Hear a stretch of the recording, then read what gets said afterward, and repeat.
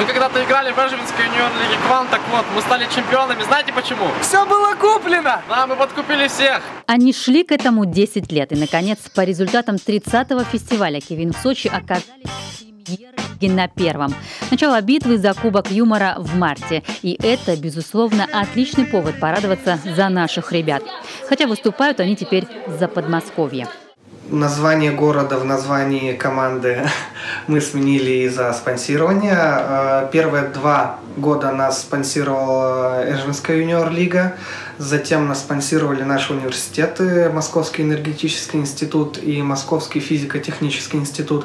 А затем мы потеряли все спонсирование, и даже был вопрос о закрытии команды, но вот э, мы понравились человеку из администрации города Королева, который предложил нам э, поддержку и представлять город Королев в КВН.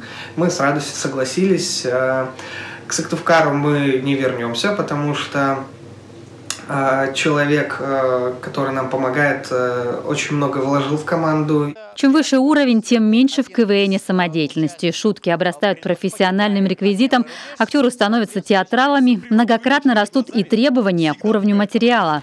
Участники центральных лиг, не говоря уже о телевизионных, тратят на игры порой немыслимые суммы. Без спонсирования никуда. А в стартовом варианте работать на голой инициативе куда сложнее. У комика КВН с деньгами туго было почти всегда. Разовые вливания и гранты, как правило, не дают постоянного эффекта. А чтобы познать все тонкости, нужна преемственность, чтобы взрослые и опытные учили молодых и зеленых. Сегодня единственный, кто этим может по-настоящему гордиться, так это юниор-лига «Кван».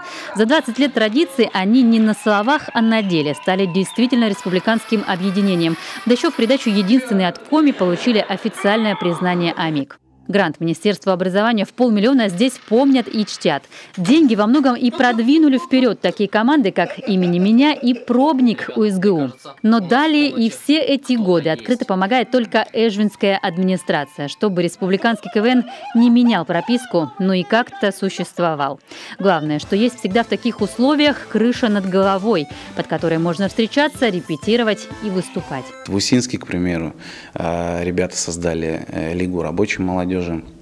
Они там активно играют, молодцы, то есть у них есть рвение. Э, в Инте есть, которым не безразлична судьба КВН, и они этим занимаются. Вот. Если бы нам всем объединить эти усилия и получить какую-то общую поддержку, то я думаю, КВН он снова будет. Многие лиги не работают э, в регионах, э, не работают в республике, в городах, потому что как бы, ну, нет финансирования, потому что это нужно оплачивать зал, это нужно помочь командам э, с приездом, это нужно помочь командам с реквизитом. То есть ну, это все упирается в какие-то ну, небольшие, но деньги. Но если это собрать все вместе, то это получается большая сумма. Но главное – это вывозить перспективные команды на российский уровень, чтобы они не оставались и не застаивались.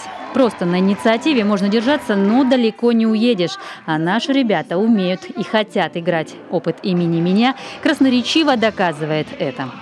Ольга Коняева, Евгений Стокас, Анна Зубарева, Олег Жуковский, телеканал «Юрган».